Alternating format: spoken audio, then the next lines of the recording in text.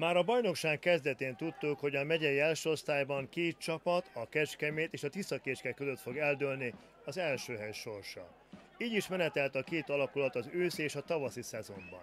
Szombaton a felújított kécskei pályán a fehérmedes Tiszakécske és a Lilafér KLC csatájára megtelt a nézőtér. Az első féldőben mindkét gárda a biztonsága törekedett, és így a védekezésre helyezte a hangsúlyt. A 16-os környékére elvétre érkezett labdás ember, tehát a kapuk érintetlenek maradtak. A szünet után a kiske volt veszélyesebb. Nyilaselek tanítványai egyre bátrabbá váltak, csak hát a befejezés nekik sem sikerült. Némeni Norbert az idő múlásával cserélt változtatott, mert a döntetlen csak a helyieknek volt jó eredmény. Nagyobb erővel támadtunk, és ez szerényebb védekezéssel párosult, ami kedvezett a kécskei kontráknak. A 86. percben megszületett a hazai gól, és ez eldöntötte a találkozó sorsát.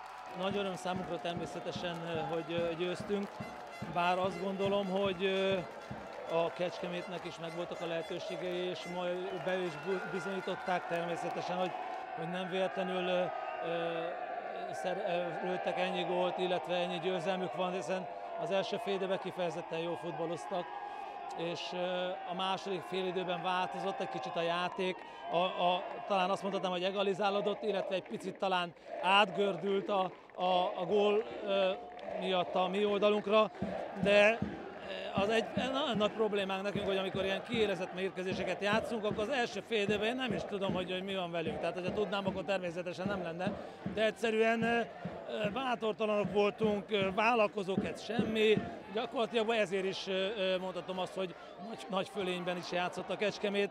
És a második félidőre, amit az előbb említettem, valamilyen szinten ezt levetköztük, átbeszéltük a félidőben a történteket, és csak annyit kértem, semmi más az égben, hogy próbáljunk egy kicsit játszani, és azért talán valami, valami ebből látszódott a másodikban. Na ez innen jön. Tehát ez, ez, ez most egy elméletek 6 pontos előny, ami nem megnyugtató, hanem inkább azt mondom, hogy még nagyobb odafigyelés, koncentrációt igényel. Tehát ebben nem lehet beleülni ebbe, ebbe az előnybe, ez óriási tévedés, aki ezt gondolja.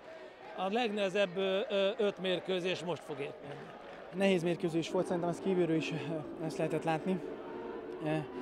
Mezőnyben úgy gondolom, hogy talán egy kicsit mi oldalunkra billent a mérleg az egész mérkőzésen, viszont a nagyobb lehetőségek azok a hazai csapat előtt voltak, és amikor ugye kinyírtunk, ebből azért két-három komoly sanszuk is volt, Hát ebből egyet ezek ki is tudtak használni, ugye kétszer is mentettünk az utolsó pillanatba.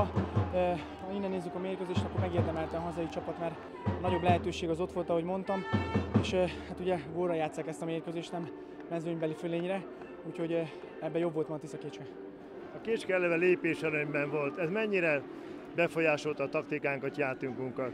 Hát ez egy nagyon nyílt játékot nem lehet itt fölvállalni, mert felkészült csapatról van szó, Igazából azért a rendezettséget azt meg kellett tartani végig a mérkőzés folyamán. Vártuk, hogy hogy alakul a, a, ez a 90 perc. A végén ott azért próbáltunk egy kicsit többet kockáztatni, ott egy, egy kétszer-háromszor, ahogy mondtam, át is jöttek rajtunk. Benne volt az, hogy kaphatunk egy volt, meg is kaptuk, végén meg már nem tudtunk újítani.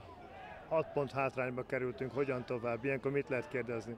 Pozitívan kell hozzáállni, van hátra 5 forduló, úgyhogy eh, egy edző nem mondhat mást azt, hogy le kell játszani ezt az 5 meccset is, úgyhogy eh, eh, megpróbálunk abban minél többet kihozni, meglátjuk, hogy hogy fog alakulni ez az 5 meccs.